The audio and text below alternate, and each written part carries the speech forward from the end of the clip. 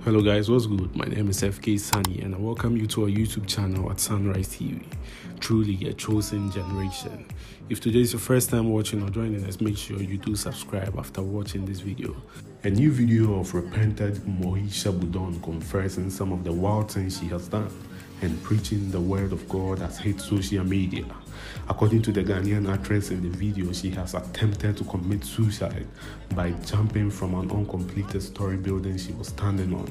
She emotionally spoke about her past life whilst preaching the gospel.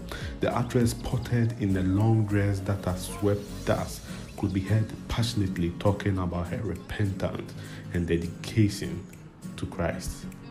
Let's head straight to the video we have for you at all.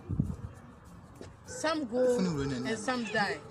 Some of these girls go and they die because of the wrong men they sleep with. They take our, our glory. You know they take our glory. God, God, when God, God created us, God has given us all of us wealth and power. All these men do is to sleep with us and take our glory and give us peanuts and give us peanuts.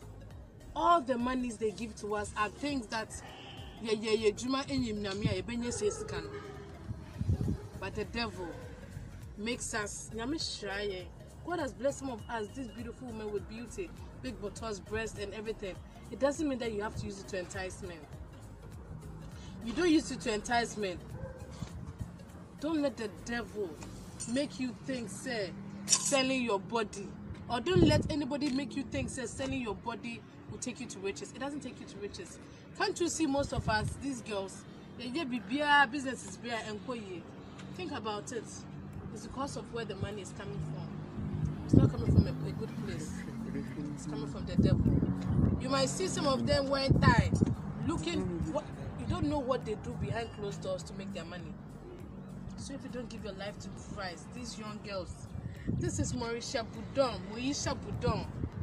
They used to call me slave queen of Jesus Christ. You've come to me. Teach me how to pray. The next I'm sorry, and I'm a bonfire. I say, Father Lord Jesus, thank you for my life.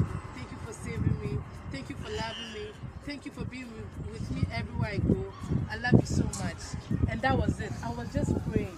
And God Jesus Christ and the Holy Spirit was helping me. So when you pray to God, He will answer. When you pray to God, He will answer. I didn't know this,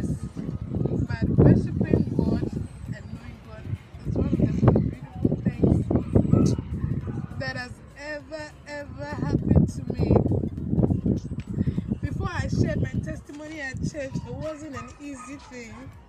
I was battling with a lot of things. I was battling with a lot of things. I was sick.